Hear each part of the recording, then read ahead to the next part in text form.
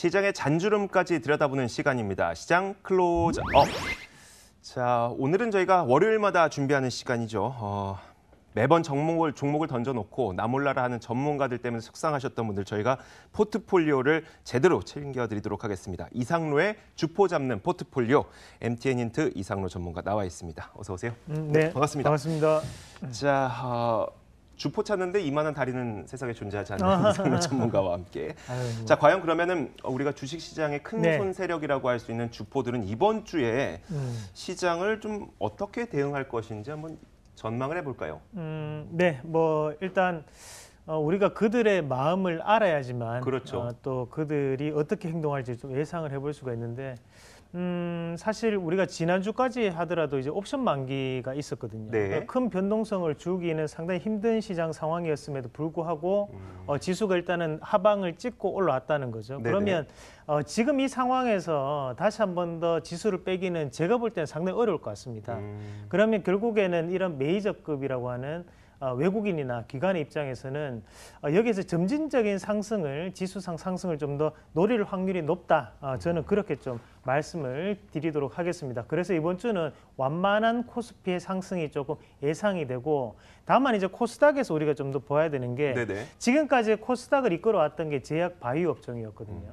하지만 이 제약 바이오 업종이 실적 발표를 하면서 주가가 지금 빠지고 있는 양상이거든요. 네. 그만큼 기대감이 상당히 높았다는 거죠. 네.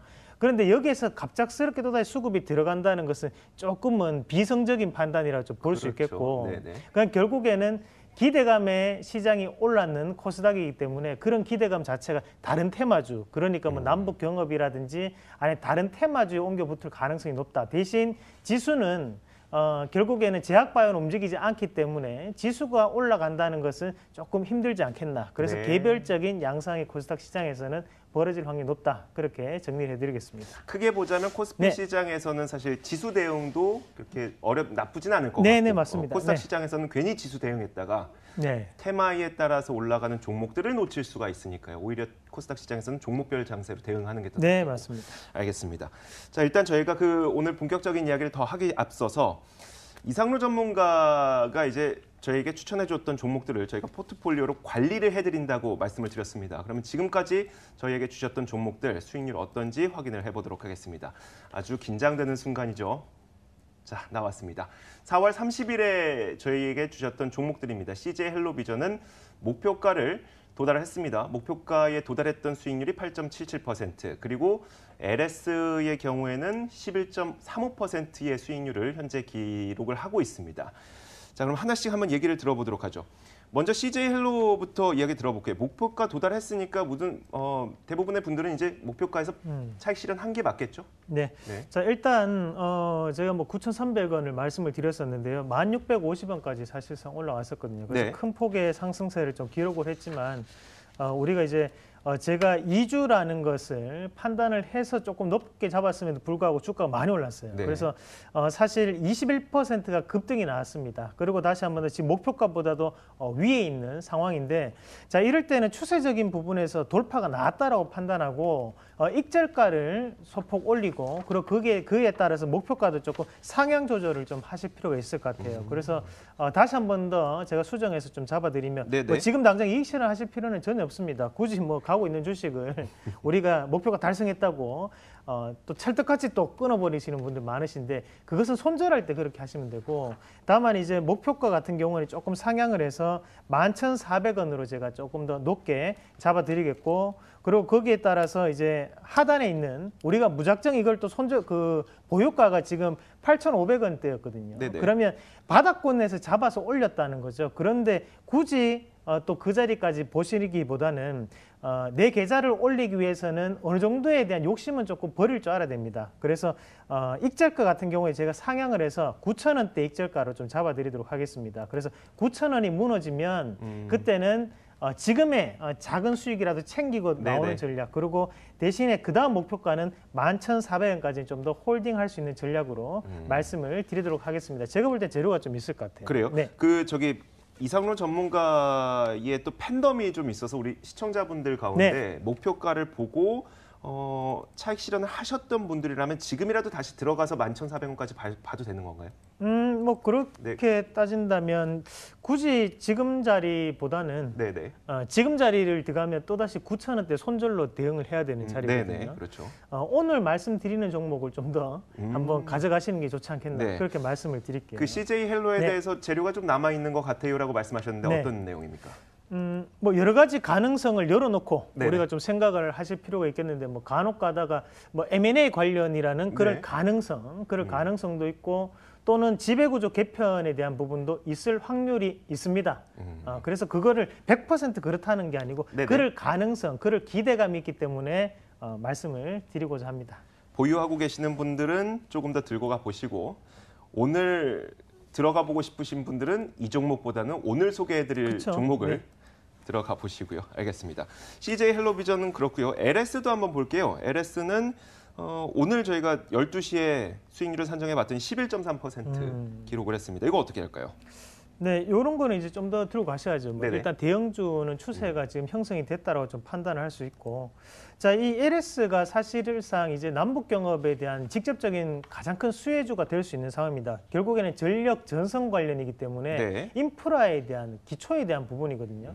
자, 대신에 이제 이 LS 같은 경우에는 목표가를 아직까지 터치를 못했죠. 그렇기 때문에 그 목표가까지 좀 더 홀딩하시는 전략으로 말씀드리겠고 마찬가지로 말씀드리고 난 다음에 급등하는 그런 양상을 좀 보이고 있습니다. 자 대신에 이런 종목군 같은 경우 익절가는 좀 잡으셔서 가셔야 돼요. 그래서 여기 하단에 있는 83,900원이 깨지지 않는 한 좀 더 보유하시는 전략 그렇게 좀 말씀을 드리도록 하겠습니다. 제가 이렇게 이제 익절가를 상향시켜 드리는 것은 네. 사실 우리가 어뭐 겉보기에 뭐 이게 올라간다고 해서 좋은 게 아니고 실제 계좌를 운영하시는 분들 같은 경우에는 어느 정도는 또 수익을 챙겨야지만 우리가 1년이라는 시간을 봤을 때 그렇죠. 수익이 올라오거든요. 네네. 그러면 어 뭐 적더라도 그 수익은 챙기고 또 다른 종목 대응하면 된다는 의미에서 하는 부분이기 때문에 익절가는 꼭 대응을 하시길 음. 네네. 바라겠습니다. 네, 알겠습니다.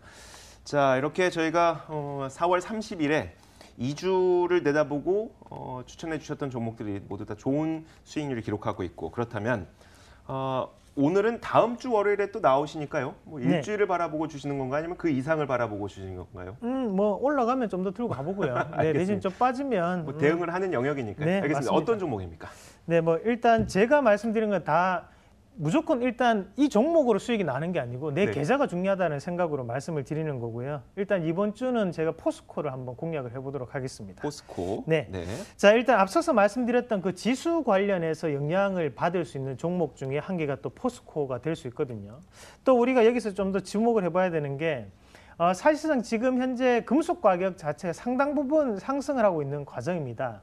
자, 그 말인 즉슨 수요가 늘어난다는 거거든요. 네. 수요가 늘어난다는 것은 공급업자 입장에서는 가격 단가가 올라가고 있다라는 부분으로 우리가 해석할 필요가 있겠고 결국에는 그 부분은 매출이 증가할 수 있는 여건이 형성되었다라고 또 보는 게 맞겠죠. 자, 그리고 또 한 가지 더 우리가 좀 보셔야 되는 것은 1분기가 가장 큰 비수기인데도 불구하고 지금 현재 상대적인 가치, 뭐 PR 밴드로 매긴다 7.8배로 상당히 저렴한 가격 권역에 놓여 있고 거기에서 우리가 음, 실질 뭐 경제학적 이론의 사이클을 봤을 때 항상 우리가 이런 기초 산업군 그러니까 건설이라든지 또는 철강 그리고 금속 이런 업종들 같은 경우에는 사이클을 한 4년에서 5년 매개로 돌아가거든요. 네, 네. 하지만 지금 포스코 같은 경우 2010년부터 현재까지 꾸준히 어, 7년 동안 하락을 했다는 거죠. 그러면 추세적인 부분에서 돌아설 수 있는 관점이 드러났다라고 저는 좀 보는 시각입니다. 또한 이제 이 부분이 이슈가 좀 될 수 있을 것 같은데 자 이제 북한에 대한 관심이 계속적으로 대두가 되고 있습니다. 네네. 결국에는 북한에 대한 인프라 형성에 대해서 이 포스코가 직접적인 수혜를 받지 않을까 그 의미에서 오늘 포스코를 말씀드리도록 하겠습니다. 네, 알겠습니다.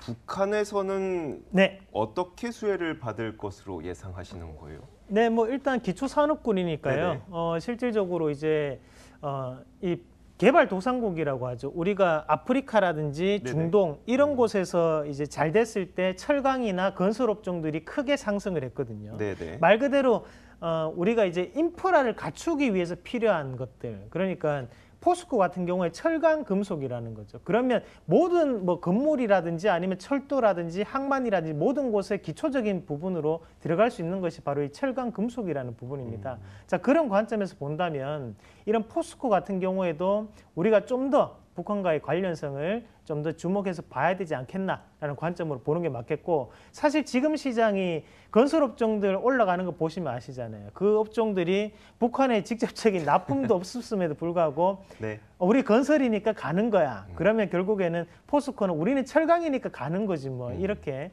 해석을 좀 할 필요가 있지 않겠나 그렇게 좀 보는 시각입니다. 제가 굳이 질문 드렸던 거는 네. 포스코에서 철강 북한에 판다고 해서 북한에서 살 수 있을 만한 여력이 있을까 싶어서 그랬던 거고요. 네. 알겠습니다. 근데 말씀하셨던 대로 그 기대감이라고 하는 것은 어디에 네. 작용할지 모르는 거니까요. 알겠습니다. 네, 맞습니다. 가격 전략 한번 들어보도록 하죠. 음, 네.